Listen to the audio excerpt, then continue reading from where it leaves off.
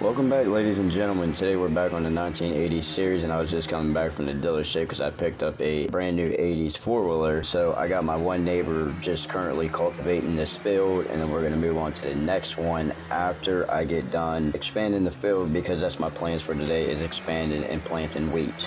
So this field up here that I've been leaving alone is still, you know, full of grass. I'm I was supposed to, you know, mow it and then bale it up or windrow it and bale it up, but I just ignored it. So of course it's going to be a pretty big project. I got to cut half of this tree line out, and remove half of the bushes with a mower. Not sure if I'm actually going to mow the bushes up. I might just plow over it and then it'll be fine after that, but I might keep a few trees here and there along the tree line to make it look good. So like I said, I have my one neighbor kid down the street helping me cultivate cultivate right now. No clue where he went. He might have went on break. I don't know. He's been taking breaks this whole time. He's been on this field, and it's a small field. It's like one row. He takes a break. Another row. Takes a break. Man, this kid he might get fired by the end of today. So it's come to my attention that I completely forgot to buy a plow, which is completely fine. I'll just go call the dealership up and make arrangements to go buy a new one. But first, I do got to get a chainsaw as well. Alrighty, just picked up the plow and the chainsaw, and I'm going to go into the back of the field and start working on it, and I'll catch you guys back there.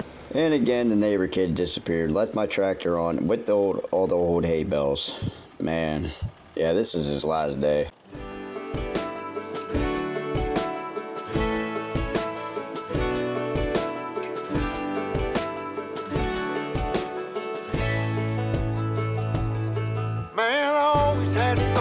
The city lights and the crazy nights. Figure I should probably give it a try. Maybe check it out, see what it's all about. But the traffic was fast and the money was slow. The people I met you never get to know. I kinda miss this place I used to live back home. Cause up here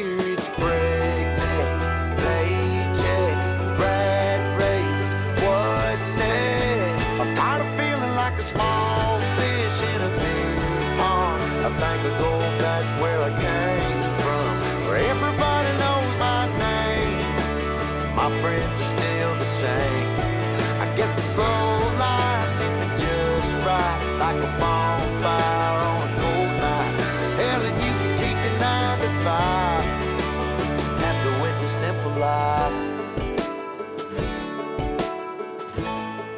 Alright, so you can see I just started my lines with the plowing to get a good rough estimate of where I'm going to be plowing at. So I'm going to go ahead and start plowing now.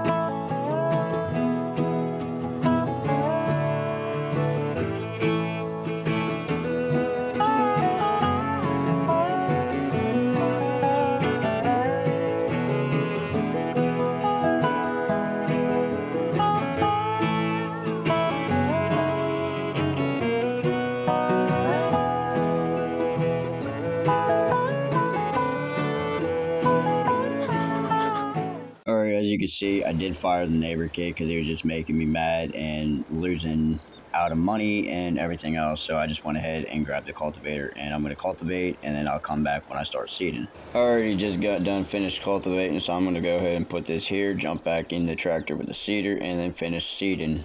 You know, I'm actually very surprised on how the expansion came and turned out. I'm actually very happy with it.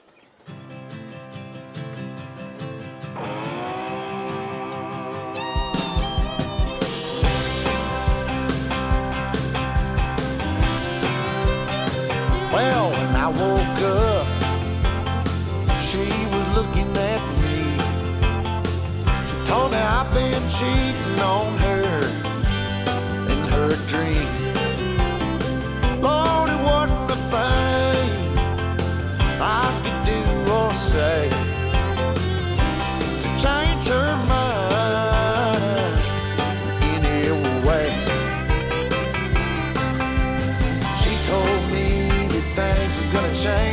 If I wanted her, I couldn't stay the same. So I stopped going out Friday nights.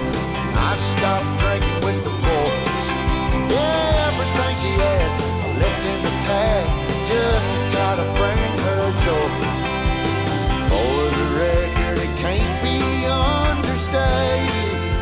So I'm thinking once I get more money saved up, I'm gonna build a red barn down up in this field right here so I can have more storage for hay bales and more equipment. I'm not sure yet. Let me know down in the comments. All right, and just about halfway done planting the field with wheat, I think I'm gonna go ahead and cut the camera off and finish up here, and I'll be back with you guys shortly.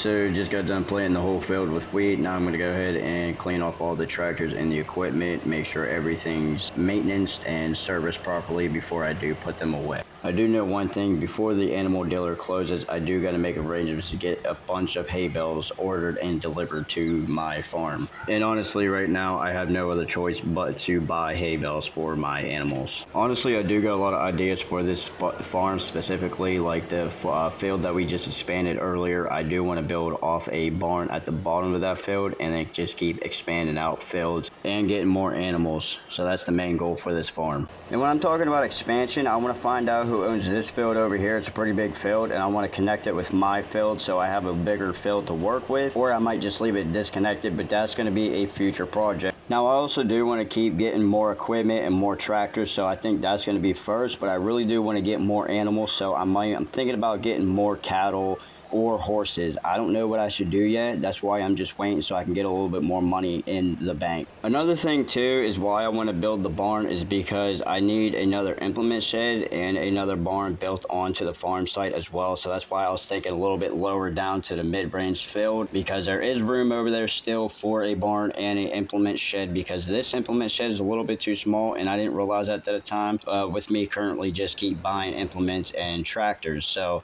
that's another main goal that's on my mind for the farm as well, but it's going to take a little bit of time as well. Alrighty, well, I'm pretty sure this is all the equipment that I had left to put away besides my John Deere and my sprayer, but as soon as the fields start growing with weeds, we're going to start fertilizing the fields as well so we can get a better yield for our wheat harvest for the upcoming year. Um, also, too, I still got my TLX, my 1982 TLX in the back of this barn.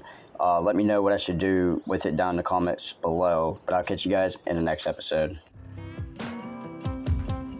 I go straight from the bank, gassing up the tank, cranking up the radio.